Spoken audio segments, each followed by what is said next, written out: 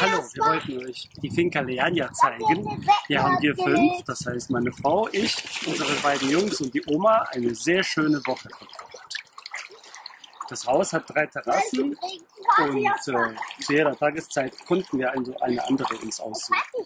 Wir sind bei unserer Ankunft sehr nett empfangen worden. Uns wurde alles erklärt und alles gezeigt rund ums Haus, wie man günstig einkaufen kann, spät abends noch.